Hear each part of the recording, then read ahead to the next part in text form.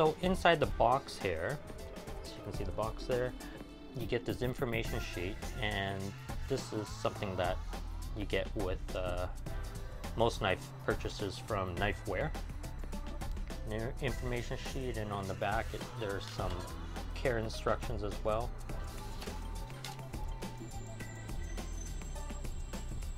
You get this uh, quality assurance label telling you who made the knife and who sharpened the knife and this 5 yen coin.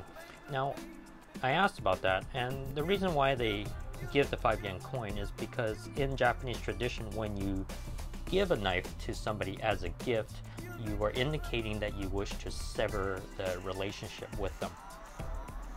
So by having the 5 yen coin you are breaking that notion that you're severing the, the tie with them.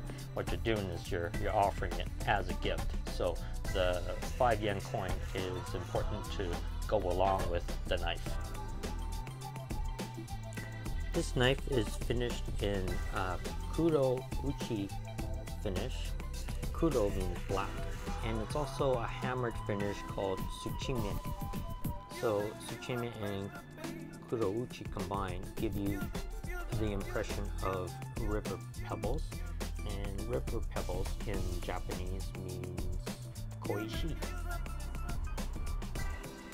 So that's why this line of knives is called the koishi line. Let's talk about steels for a moment.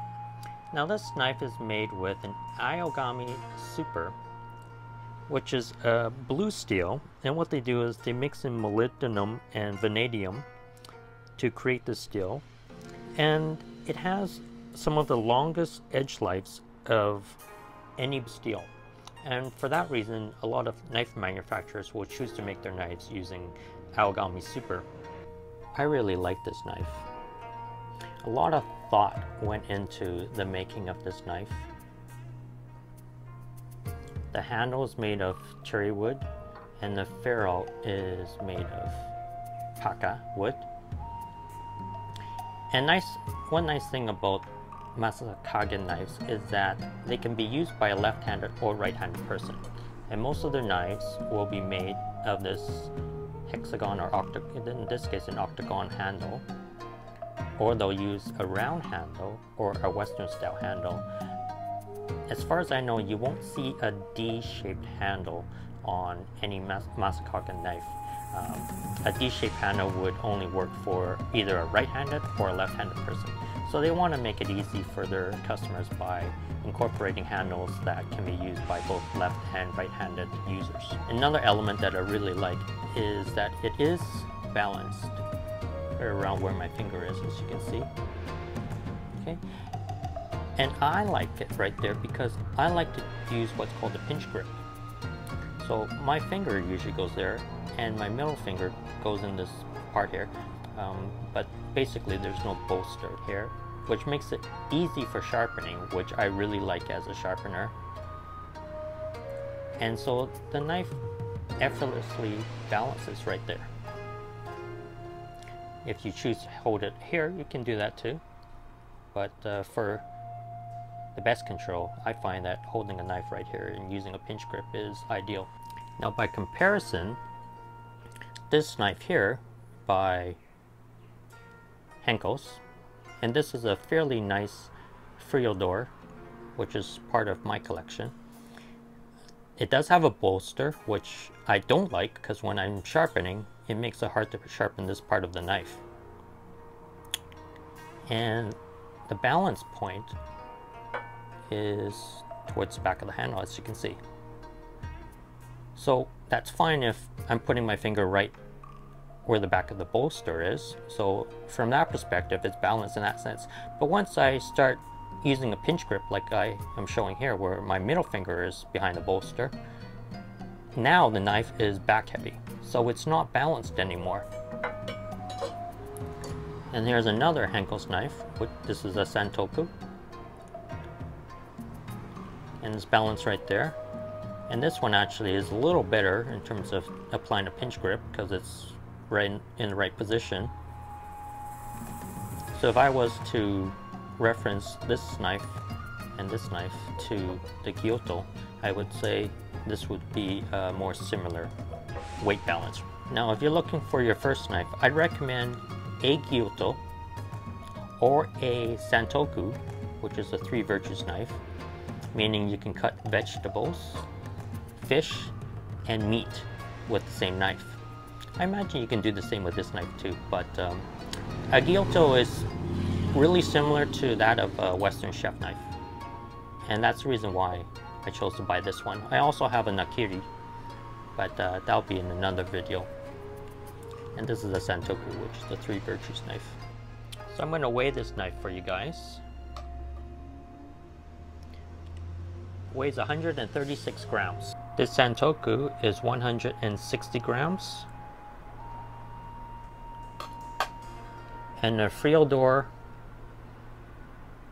Henckels is 276 grams. Now these two knives are stainless steel, of course. And this one is carbon steel clad with stainless steel. So it's a fairly light knife compared to these two. Like the Friodur is a chef knife is basically double the weight of the Japanese knife. So if you've got tendonitis um, and you're looking for a sharp but light knife for your hands, um, you can consider getting getting one of these Gyutos or, or one of the other uh, Japanese brands. The one nice thing about this knife is that they've clad or forged the carbon steel with a layer of stainless steel on the top and the bottom. And you can see the line right there where the stainless steel meets the carbon steel. So the stainless steel won't rust, but the carbon steel well. But because it's such a thin edge here, being only, well, less than a centimeter, at the thickest point. All you simply need to do is wipe it down after each use. One thing worth mentioning, and I really like this, um, it is this is off the information sheet here, right where my the tip of my knife is. So I thought I'd share with you. It says that you shouldn't use the knife on anything that you would not bite with your own teeth. So bones, thick twigs from herbs, frozen food. You should never touch this knife with any of those items because you will damage that very sharp edge. And if you chip it, it's going to be really tough to get it out. It is possible. I've, I've repaired straight razors and knives myself, but there's going to be metal that has to be removed and like you could lose a few millimeters off your edge if you damage it. So it's better to be safe than sorry. And one thing to note with carbon steel knives is that when you use it to cut anything acidic such as lemons, limes, oranges, even onions and tomatoes, you run the risk that the carbon steel edging right at the tip there will stain. It's not necessarily going to ruin it, but uh, the oxidation will cause it to darken and you'll see it. So it just aesthetically speaking, it, it might affect the knife in that manner um, but it'll still cut just as fine. So the best thing to do is right after you finish using it, just give it a quick wipe. And some sushi chefs or Japanese chefs, you'll see them actually wiping the blade every single time they put the knife down on their cutting board. So that's that's a good strategy or tip for for home users as well.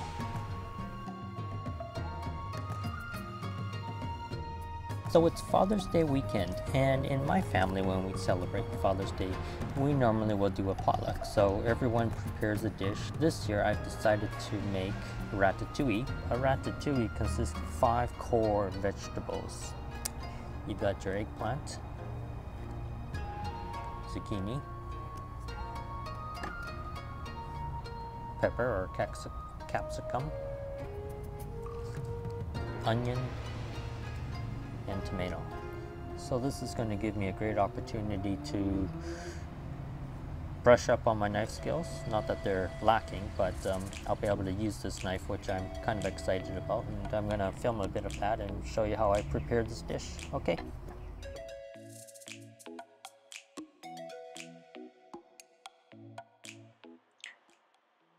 From my very first cut, I was saying to myself, holy shit, this knife is sharp. Being a straight razor sharpener and a sharpener of knives, I can honestly say out of the box, this knife is on par with some of the knives that I sharpen and I'm really impressed with it.